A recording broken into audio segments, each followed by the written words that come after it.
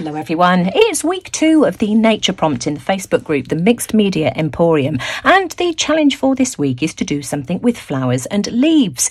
You can either use dried um, flowers and leaves like I've got here, or you can paint them. You can interpret this in any way you like, um, and of course, you know, fit it to suit any season that you might happen to be in.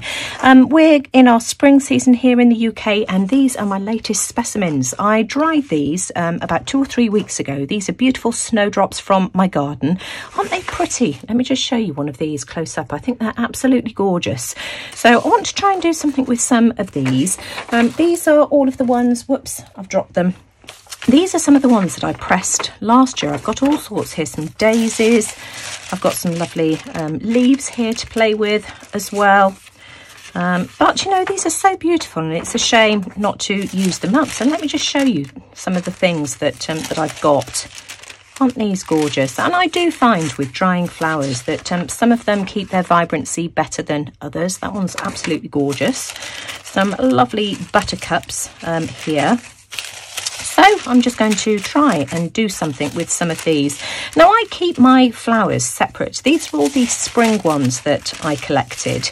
Um, most of these were collected and pressed um, last year, um, but I do also have um, an autumn collection as well. That one's gorgeous. That's just um, lovely. Um, and I do try and keep them separate just so that I know what what's what's what. So, as I've said, these are all of my, my spring specimens. And then I've got all of my autumn ones. I'll show you them in a second um, in a tin. You see, I want to do something with these. These are gorgeous dog roses, um, I think. Um, you know, some of them in bud there. Aren't they pretty? Just too nice not to use. Now, many of you will know that I've shared lots of ideas for using dried flowers in projects on my YouTube channel. And I will leave a link to the playlist in the description box um, below because there's lots of useful information. Um, there's a quick way as well so that you can dry your flowers instantly for those of you that um, haven't got any to hand and want to give this um, a try. So, you know, do check um, my playlist out. Now, I've also got a tin full of leaves and flowers and these are mainly autumnal ones. Um, just love the colours of these as well. So, you know, just some beautiful, beautiful specimens. Look at these ones here. These are just absolutely gorgeous. Look at the colours um, in those. And I just keep them in baking parchment just to stop them breaking because obviously they're really delicate. Just some lavenders and heathers and things in there. Look at this one. Look at the colours of, of those. Absolutely beautiful. Um, and some gorgeous fuchsia. I knew, knew I had some fuchsia um, somewhere, so I might try and do something with these as well. And then I think I've got a few older spring ones um, dotted around as well. Now these ones here are really nice and flat and I'm going to try laminating them. I've got here um, a laminating pouch. This is an A4 laminating pouch and I'm just going to try and arrange some of these on the acetate, just spacing them um, out just so that I can cut them apart um, afterwards. And these ones here, I think I want um, two together. I think those two colours there are just absolutely gorgeous. How do I want those two to go. I think like that. We'll have that one there. And again, I can just um, take all of these extra bits off. In fact, the best way to do that, I think, would be using um, a paintbrush. I want to keep these fairly, fairly crisp and clear, um, I think. That's a nice one, that one there. Space them about a little a little bit more, I think.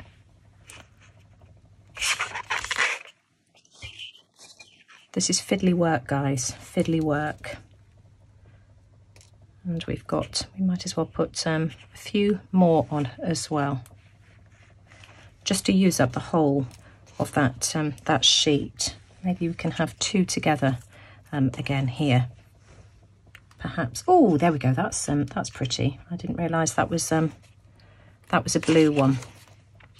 Can I use this one, this one here as well, perhaps? No, I like that one there on its own. So let me just wipe off any extra bits and pieces that, um, that I don't want. And then I'm just going to close, close that carefully just to keep them in place. just check that I've got them where, where I want them. I think I'm happy with that.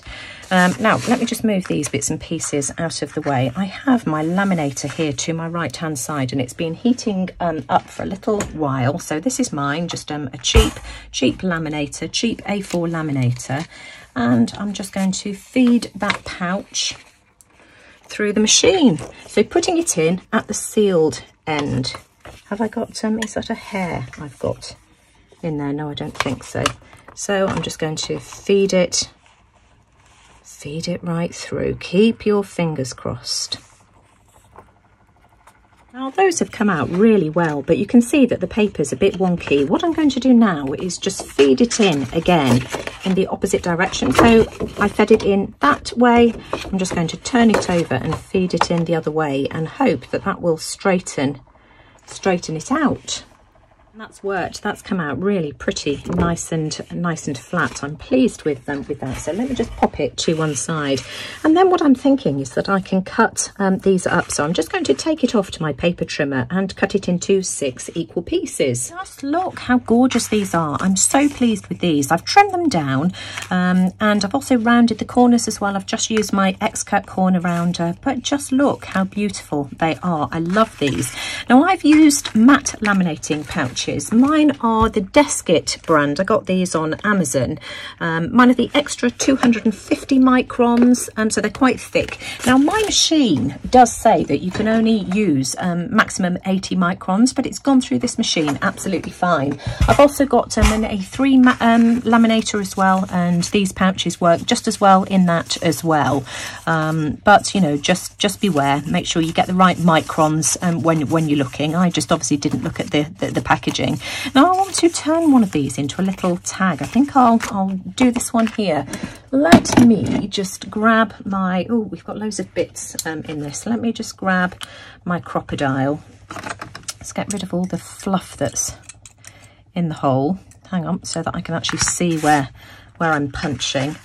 And I'm just going to eyeball it about, about there. That looks fairly central to me and I'm just going to grab an eyelet using one of the We R Memory Keepers eyelets.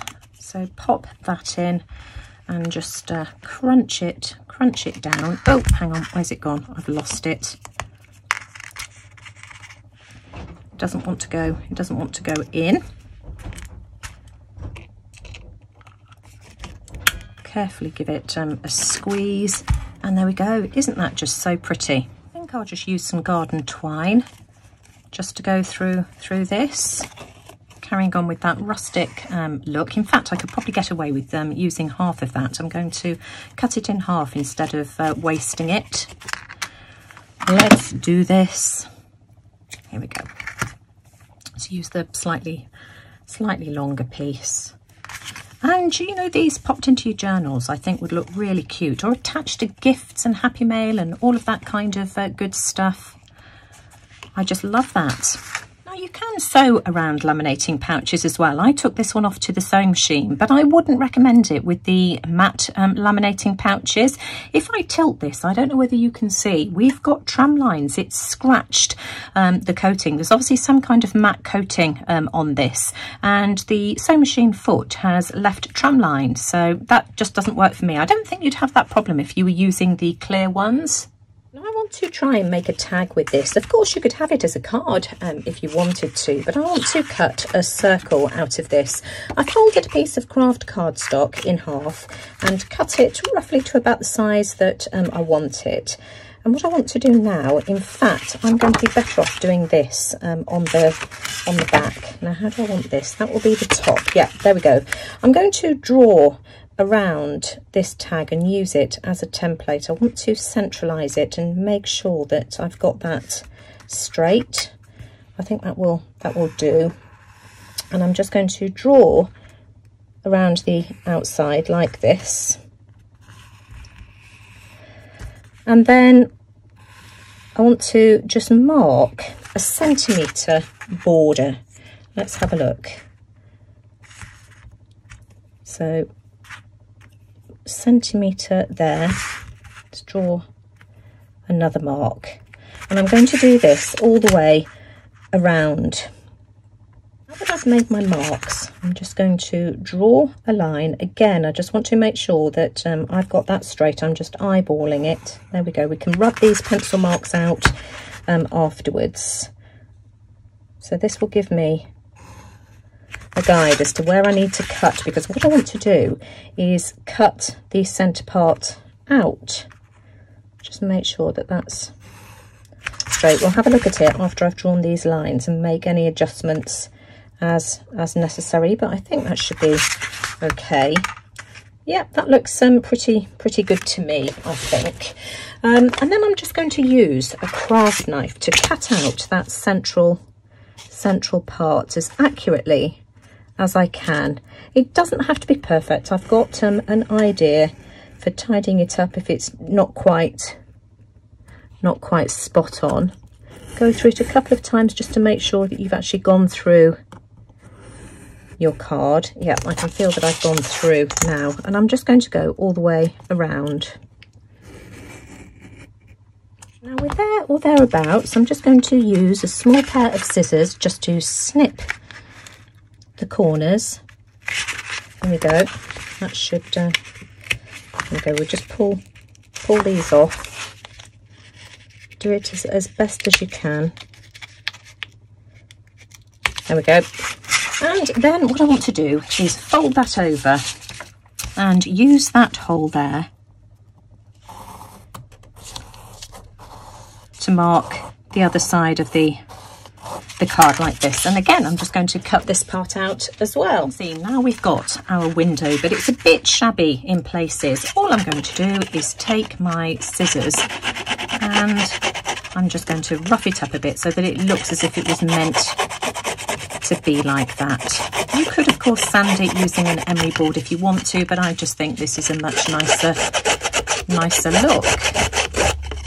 That's what it looks like now. So it looks as if it was meant to be that way.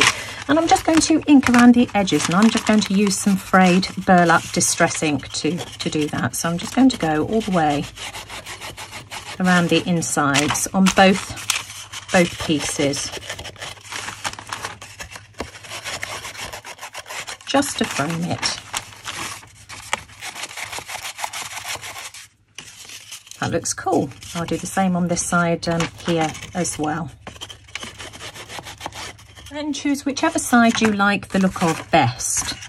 And then you just need to glue the card in. And all I'm going to do is just apply a really small amount of Fabri-Tac. Oh, in fact, I'm using three in one all around the outside. It's probably easier to do it to the to the card so we just apply a small bead all the way around like like this making sure that you keep it to the very very edge. And then we can just just glue it down. Just make sure you get it nice and nice and central like that. And then we can just glue the brown cardstock shut as well. I'm just going to weight this down underneath a heavy book. And of course, as soon as your glue has grabbed, you need to seal the inside as well. In fact, what I'll do is I'll do it on this side, this side here. Just make sure that you get plenty of glue right to the very, very edges like this. And I've just um, done the same as well with the one that I'd sewn around that I didn't care for. So, you know, save that one going to waste. Glue's dry on these, so I'm just going to turn them into a couple of tags, cut one corner off there, um, and then just take it over to the other side then, just so that they're, they're even. How's that come off the right way? Yes Just line it up and then we can use that as a template just to trim the other side. Like that. And then we can use the template for this one here as well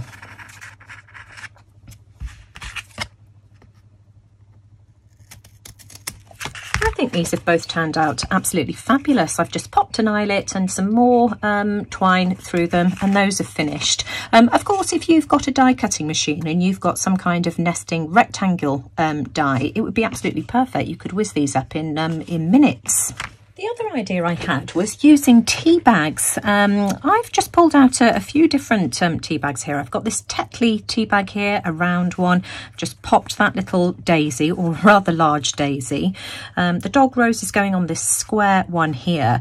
Um, I've also got some of these um, longer tea bags and I've just opened it out, tipped the tea leaves out and I've cut this one um, in half. Well, not quite half, but you see what I mean. And so I'm just going to pop this underneath now and arrange these and pop these through the laminator as well. And let's see what these look like. I've cut these ones apart. And I must admit, I think these are going to look better if they're put um, in cards. Um, so that's what these look like. I don't like the border around the outside. I think the plain ones are just so much nicer, crisper, clearer. I think that's what um, what I think. So I will turn these into cards at some stage um, as well. I did also run the snowdrops through the laminator. I think these are absolutely beautiful. I think these are my favourite um, of all of them. Just look how gorgeous they are. Just love these. So I've turned that one into a tag. Um, I've left these two um, as they are. Don't know what I will do with these um, as yet. If anybody has any ideas, you know, do uh, please feel free to share. But, you know, I just think these are gorgeous. Just a great way to preserve your dried flowers and leaves. I also decided to try a clear laminating pouch. Now this is a much thinner pouch. It was one of the ones that came with um, my laminator. I don't think the look is anywhere near as good. For one, because it's thinner, um, it's much more bendy, it's melted in parts. Um, I don't know whether you can see it, but on one of these you can see where um, oh, here we go, on this one here, where it's kind of buckled and um, not done a particularly good job. You don't get that with the thicker micron pouches. Um, you know, just my opinion, I think this is much nicer. Um, but if you want to sew around the edges, the clear ones definitely lend themselves better to sewing. So, you know, I've sewn around um, three of these and, you know, I do like them. I just prefer the matte finish. Let me know what you think. I really hope that this has given you some ideas as to how you can use fresh flowers, fresh pressed flowers in your own projects. I can't wait to use these in my journals. As I said at the beginning of the video, I've got lots more ideas as well as to how you can use pressed flowers in some really simple and easy ways. So I'll leave the link to the playlist in the description box below for anybody who's interested. But if you've enjoyed today's video, as always, I'd really appreciate a thumbs up. As I always say, it just really does let YouTube know that you like like what I'm doing. Do let me know what you think in the comments below. If you've got any tips and tricks, you know, I'd always love to hear them. But most importantly, thanks for watching. Take care, everyone, and I'll see you all again soon. And don't forget to go and check out Kylie's video this week as well, because no doubt she's come up with a completely different interpretation um, on this prompt to what I've done here. And for anybody who's interested in following along with us, I'll leave the link to the Facebook group, the Mixed Media Emporium, in the description box below. Just please be aware that there are four entry questions um, that you will need to answer to join. And if you don't answer them, um, your request will be automatically declined. Um, but as I've said, take care, everyone. I'll see you all again soon. Bye for now.